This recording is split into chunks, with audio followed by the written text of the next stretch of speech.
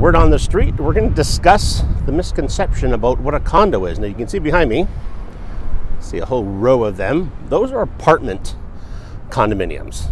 Okay, those are what people always think about when they say condos.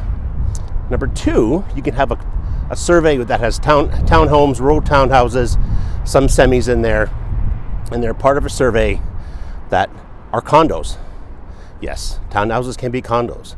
They can have the water included, parking, get their snow shoveled, grass cut as well. They have a condo corp set up.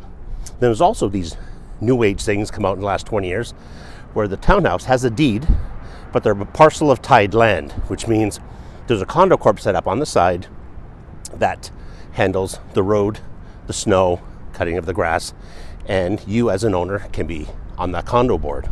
Okay, so there's three types. These guys behind me, townhouses, and also freehold townhouses that are in, involved in that in the parcel of tied land. Now, interesting to note, when you're doing it, get the status certificate. When you buy any type of condo, any type of those three, it'll tell you fees, um, reserve funds, things like that. And also, taxes are not included, okay, in the condo fees. And also, check what the condo fees are. Like, I know the ones, um, condo townhouses, sometimes water's included. And get insurance. Get your own insurance on these ones, okay, especially these ones back here and the townhouse condos. The, the parcel of tied land freeholds everything is yours.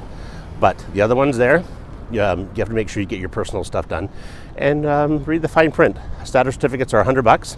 You get it with every condo. Okay? All right, take it easy. Any questions? Let me know.